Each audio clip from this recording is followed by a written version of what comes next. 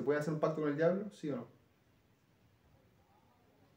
Pactar con el demonio, Sí. wow, tremendo. Bueno, padre Marcelo, un gusto estar con usted acá hoy.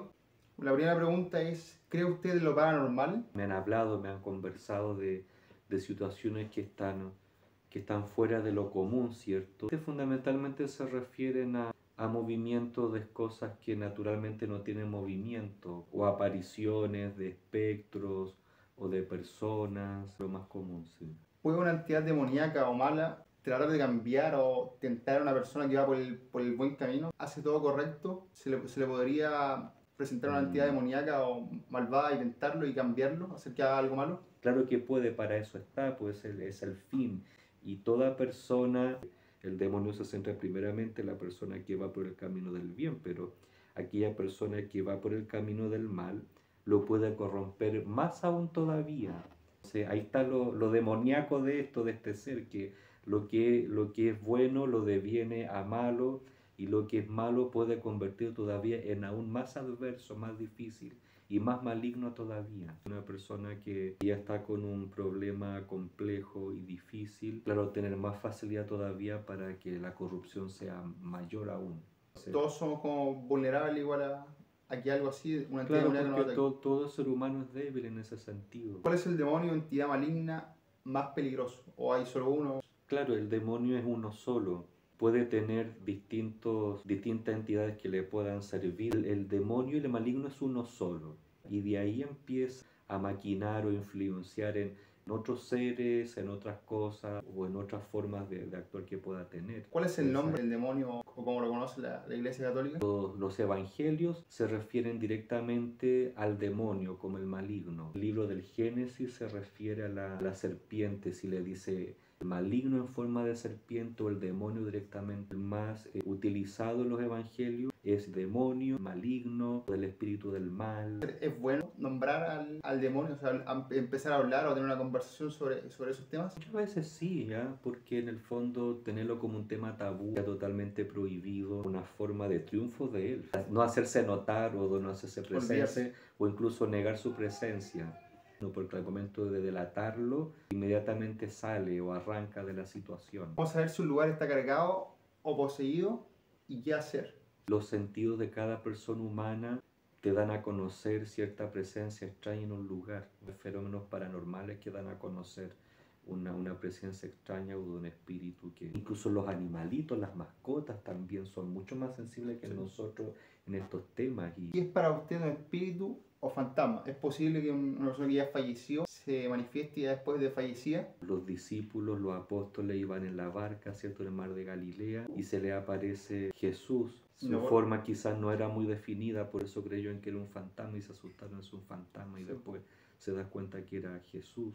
Una persona cuando muere, su alma directamente va a la presencia de Dios, que es lo que se llama el juicio personal, el juicio de cada uno. Pero sí hay personas que pueden manifestar cierta forma de, de petición y de auxilio, sobre todo cuando necesitan oración, que muchas veces son los mismos familiares de la persona que ha fallecido, que te dan a conocer de que ha- hay algo que les llama la atención en su misma casa, es porque la persona que ha fallecido necesita que recen por ella, que se apliquen misas por el descanso de esa persona. Cuando uno sueña con un familiar que está fallecido, como que en el sueño no se da cuenta que está fallecido, pero cuando despierta, Ah, claro, sí. recuerda y sí, Sí, fallecido. ¿Por qué claro. pasará esto? Sí. De- Depende de la situación que te toque vivir con la persona que, que ha fallecido y sobre todo el sentimiento posterior Sí. que, te, que tengas tú, que la persona con la que soñaste necesita oración, necesita ayuda. Es una forma, una comunicación, una conexión que, que uno tiene de manera especial con esa persona que ya ha partido. Tienes tanto deseo de verla, de escucharla, de abrazarla, que la ves porque la escuchas, incluso sientes el olor de la persona. ¿Qué opina usted del niño que predijo su fallecimiento y que hizo un dibujo, que es el dibujo que le estoy mostrando acá, que hizo Ya, un- claro. un vehículo él cruzando la calle, lo alcanza a atropellar y el niño fallece. Dibujó esto en su clase y una vez que salió pasó tal cual, incluso dibujó hasta la, hasta la patente del vehículo. Pero es con respecto a una situación de uno mismo, no solamente una, una figura profética, sino que también se puede interpretar como un momento de un momento de gracia divina, de bendición incluso, no solamente como un hecho doloroso, que por supuesto un accidente, claro que lo fue, Pero al saber antes, como una prueba, ¿me entendí? Cuando tú supiste antes las preguntas de la prueba, ¿cómo tomas eso? ¿Lo tomas a bien o a mal, suponte tú? Bien, yo, pero esto puede ser como, según entiendo, como un nivel de conexión del niño. Lógico, con, Dios. con Dios, con lo que le iba a como suceder. que la avisaron antes al ser él como un alma pura. Recibió esa revelación de, de la forma en que iba a morir. Recibió el eso. ¿Por qué no lo prevenir el accidente? ¿Habrá sido consciente esa revelación que recibió? Lo más probable que no. Nunca se imaginó de que iba a suceder eso a lo mejor. Porque si se hubiese imaginado que iba a ser eso, lo hubiese prevenido lo evita, ¿me entiendes? Pero no en este caso sucedió así. Lo interpreto como una gracia, como un momento de sobrenatural. ¿Qué hacer si escucho que me llaman y estoy solo? Como ejemplo, ahí me tocó una vez estar en la casa totalmente solo y escuché que me llamaba mi mamá. No había nadie en la casa. Yo salí afuera, pero estoy seguro que me llamó. Y se dice que es mm. algo malo, que uno no tiene que salir. Mira, siempre cuando hay estas cosas que son aquí algo paranormal, descartar todas las posibles razones lógicas. Y así no hay ninguna razón lógica y, explicación natural del por qué sucedió, ahí uno entra al ámbito de lo paranormal. Pero cuando son dos personas las que escuchan, a mí me pasó también una vez que estaba con una amiga y escuchamos los dos que un señor dijo halo. Yo creo que para, para objetivar más la cosa, lo más importante es no perder la calma, no perder la que desde el punto de vista de la fe, es rezar en ese momento, porque puede ser esa persona o otra persona que necesite oración o que necesite intercesión para, para obtener la vida eterna, suponte tú, para alcanzar la gracia de la comunión plena con Dios en el cielo. Entonces, lo más importante es no perder la calma y rezar por, por esa persona. Rituales y magia negra, espiritismo y eso, lo más fuerte que le ha tocado ver o que le hayan contado quizá desde el punto de vista de lo que le han informado a uno. Personas más jóvenes que a veces por curiosidad o por juego empiezan a meterse en aspectos que son magia, magia negra. Pero primero preguntarle, ¿usted cree en la? Claro que creo, o sea, no, nunca lo he puesto en duda, sobre todo eh, con lo que he recibido, con, con, los casos que me ha tocado tratar, más que ver, creo yo, me, me ha tocado tratar porque uno ve un, un, daño objetivo en la persona, no hay cree en ese, en ese asunto, y, pero más aún cree en lo necesario que es estar cerca de Dios.